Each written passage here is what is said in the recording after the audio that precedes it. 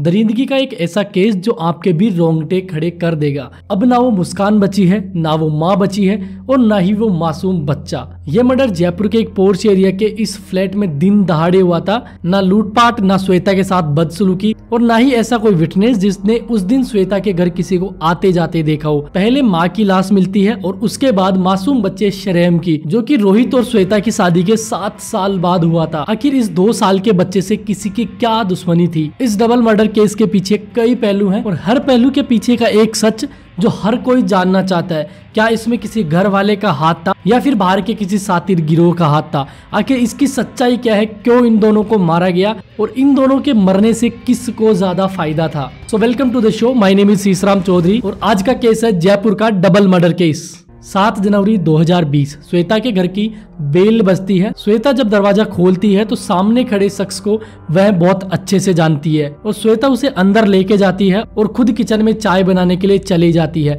लेकिन जिस शख्स के लिए श्वेता चाय बनाने गई थी, आज वो शख्स किसी अलग इरादे से आया था, ना कि चाय पीने के इरादे से। श्वेता जैसे ही चाय बनाने लगती है तो वो किचन में पड़ी अदरक कूटने वाली मूसली से श्वेता के सिर पर लगातार वार करने लग जाता है। जिससे श्वेता नीचे गिर जाती है और इस घटना के दौरान श्वेता बहुत बार चिल्लाती भी है बट उसका बेटा श्रेयम, जो कि दो साल का था, वो किसी दूसरे कमरे में सो रहा होता है, जहाँ पे वो अपनी माँ की चीखने की आवाज़ें नहीं सुन पाता है और ना ही कोई श्वेता के चिल्लाने की आवाज़ बाहर भी सुन पाता है, जिसकी वजह से कोई भी उस प्लेट के अंदर नहीं आ पाता है। और ये हमला इतना अचानक हुआ था कि श्वेता के पास खुद को बचाने तक का कोई मौका नहीं था। शाम को जब काम वाली बाई घर के अंदर आती है तो श्वेता की लाश नीचे फर्श पर पड़ी देखकर खून से लथपथ लाश देखकर वहीं पे सहम जाती है। सूचना पाते ही पुलिस जब उस अपार्टमेंट के अंदर पहुँचती है तो चारों तरफ़ खून के धब्बे थे। अंदर श्वेता की खून से लथपथ बॉडी पड़ी थी। श्वेता की ये कंडीशन देखकर पुलिस को समझ तो आ चुका था कि किसी भारी हथियार से श्वेता के ऊपर हमला किया गया था। पुलिस जब वहाँ पे आसपास की तलाशी करती है, वहाँ पे उसका बच्चा मिसिंग था। पुलिस ने जब श्वेता के घर में आसपास तलाशी की तो पता चला कि श्वेता का मोबाइल फ़ोन मिसिंग था। लेकिन बाकी का सारा सामान वैसे के वैसा रखा था। पुलिस को एक चीज़ कंफर्म हो चुकी थी कि ये मामला कोई लूटपाट का नहीं है, और साथ ही वहाँ पे श्वेता का 21 महीने का बेटा श्रेयम भी गायब था। बिस्तर और खिलौनों पर लगे ब्लड के धब्बों से पुलिस को किसी अनहोनी की आशंका लग रही थी। श्वेता और रोहित की शादी साल 2011 में हुई थी।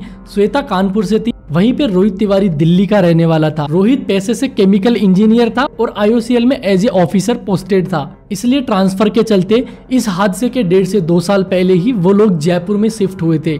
इनका बेटा श्रेयम, जो कि शादी के सात साल बाद पैदा हुआ था। श्रेयम के आने के बाद घर में खुशियों का माहौल था। सात जनवरी 2020 शाम साढ़े पाँच बजे रोहित उस टाइम ऑफ़िस में था। तब उसके पड़ोसी अजय का कॉल उसको पहुँचता है और रोहित भागकर अपने घर की तरफ़ आया तो उसे अपने फ्लैट के बाहर पुलिस फोर्स, डॉग स्क्वाड और मीडिया कर्मी दिखने लगे। उसका घर अब एक क्राइम सीन बन चुका था। श्वेता का जो फ़ोन मिसिंग था, उससे शाम करीब साढ़े सात बजे रोहित के फ़ोन पर एक मैसेज आता है कि अगर आपको अपना बेटा चाहिए तो तीस लाख रुपए का इंतज़ाम कर लो, क्योंकि तुम्हारे बेटे को किडनैप कर लिया गया है। और रोहित ने इस मैसेज को पुलिस कर्मियों को दिखाया और साथ ही श्वेता के भाई शुभम को यह मैसेज भेजकर इन्फॉर्म किया। और पुलिस ने इन्वेस्टिगेशन शुरू की। वहीं पे जिस नंबर से रोहित को मैसेज आया, उस नंबर को सर्वेलेंस पे लगा दिया। और सबसे हैरानी की बात ये थी कि इतने बड़े एरिया में फ्लैट होने के बावजूद वहाँ पे कोई भी सीसीटीवी कैमरा काम नहीं कर रहा था। तो पुलिस ने जब आसपास छानबीन की तो श्वेता के पड़ोस वाले फ्लैट के अंदर एक हिडन कैमरा लगा हुआ था, जिसका कुछ हिस्सा श्वेता के घर के मेन दरवाजे को भी कवर करता था। पुलिस ने जब श्वेता के पड़ोसियों से कांटेक्ट किया तो उन्हें पता चला कि वो पूरी फैमिली बाहर घूमने गई हुई है। तो उनसे परमिशन लेने के बाद पीछे के दरवाजे से पुलिस उनके फ्लैट के अंदर एंटर करती है और वहाँ से एक रफ इमेज निकाल लेती है, जो कि पुलिस की बाद में बहुत ज़्यादा हेल्प भी करती है। तो पुलिस के पास किडनेपर की एक रफ इमेज तो आ चुकी थी, बट अभी तक भी श्रेयम का कोई पता नहीं चला था। अब पुलिस के सामने एक बहुत बड़ी चुनौती थी, श्रेयम को सही सलामत ढूंढ निकालना। तो पुलिस ने यहाँ पे अपने सारे रिसोर्सेज काम में लिए और वहीं पे 150 से 200 लोगों की एक टीम बनाई जो कि सादा वर्दी में आसपास के सभी घरों के दरवाजे पे जा जाके उन्होंने ढूंढना शुरू किया और लोगों से पूछताछ भी शुरू की। और इसी बीच श्वेता के माँ बाप भी कानपुर से जयपुर पहुँच चुके थे। और जयपुर आने के बाद में श्वेता के परिवार वालों ने एक और खुलासा किया कि पाँच तारीख को उनके पास में फ़ोन जाता है, जहाँ पे रोहित श्वेता के घर वालों को ये बताता है की आप अपनी बेटी को ले जाइए, हम इसको नहीं रखना चाहते हैं। तो यहाँ से पुलिस का कुछ शक रोहित के ऊपर भी डाइवर्ट हो जाता है की आखिरकार ये मामला क्या है। और साथ ही श्वेता के परिवार वालों ने ये चीज़ भी बताई कि शादी के समय ही उनमें बहुत ज़्यादा झगड़े हो चुके थे, क्योंकि श्वेता के परिवार वाले चाहते थे शादी कानपुर में की जाए, जबकि रोहित के परिवार वाले चाहते थे कि शादी दिल्ली में की जाए। लेकिन इसी बीच शादी गाजियाबाद में करना तय होता है और इसके बाद से लगातार श्वेता और रोहित के बीच झगड़े होते रहते हैं। इसी वजह से श्वेता के परिवार वाले रोहित को ही अपनी बेटी का कातिल मान रहे थे। और इसी बीच जो मैसेज रोहित के पास आया था, उस वाले फ़ोन को सर्विलेंस पे लगाने के बाद पता चलता है कि किडनेपर बार बार अपनी लोकेशन बदल रहा है। लेकिन रोहित किडनेपर को 30 लाख रुपए की फिरौती देने के लिए भी तैयार हो जाता है। 8 जनवरी 2020 को पुलिस को जिस बात का अंदेशा था, वह बात सच निकली।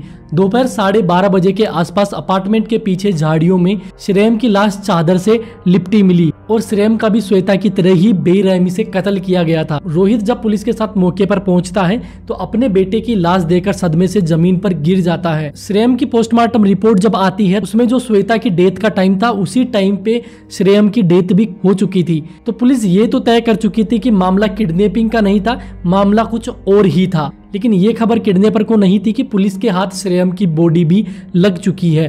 और अब मीडिया से और आसपास के लोगों से पुलिस के ऊपर बहुत ज़्यादा दबाव बन चुका था। तो पुलिस इसके पीछे की जाँच के ऊपर लग जाती है कि आखिर ये मर्डर कैसे हुआ और किसने करवाया था। और पुलिस ये चीज़ पता करने के लिए रोहित के ऑफ़िस जाती है। लेकिन वहाँ पे सीसीटीवी चेक करने के बाद पता चलता है कि रोहित सात जनवरी को सारे दिन अपने ऑफ़िस पर ही था और वह मीटिंग में था, कहीं बाहर भी नहीं गया था। रोहित की लोकेशन से भी यही पता चल रहा था एंड उसके साथ के स्टाफ ने भी यही चीज़ कंफर्म की कि रोहित सात जनवरी को पूरे दिन यहीं पर बिज़ी था। और अब पुलिस किडनेपर के पीछे लग चुकी थी क्योंकि उसको ढूँढने के बाद में सारी गुत्थी सुलझ जाती। और पुलिस की टेक्निकल टीम ने जो कि श्वेता का नंबर था, उसको सर्विलेंस पे डाला हुआ था, जो किडनेपर यूज़ कर रहा था। किडनेपर ने रेगुलर छह लोकेशन बदली, उसमें एक लोकेशन थी सांगानेर की। और पुलिस की टेक्निकल टीम पुलिस के साथ जब सांगानेर के उस एरिया में पहुँचती है, उस मोबाइल फ़ोन की जो लोकेशन दिखा रहा था, वो एक घर के बाहर थी। और पुलिस को ये चीज़ शक में तब कंफर्म हो जाती है, जब श्वेता के पड़ोसी के घर से जो सीसीटीवी फुटेज निकाली गई थी, उसमें पहने हुए जूते उस घर के बाहर खुले हुए थे। यहाँ से पुलिस की सक्की सुई यकीन में बदल जाती है और पुलिस उस घर के चारों तरफ़ फैल जाती है और वहाँ से उस अपराधी को पकड़ती है, जिसका नाम था सौरभ चौधरी, जिसने श्वेता और श्रेयम दोनों की हत्या की थी। और जब पुलिस सौरभ को रिमांड पर लेती है तो यहाँ से सारा असली खेल पता चलने लग जाता है, क्योंकि सौरभ उस इन्वेस्टिगेशन के अंदर नाम लेता है रोहित का, कि ये सारी प्लानिंग मैंने और रोहित ने की थी। और रोहित को पकड़ने के बाद पुलिस को बात पता चलती है कि जब रोहित की पोस्टिंग उदयपुर में थी, तब वो अपने पारिवारिक संबंधों के झगड़ों को लेके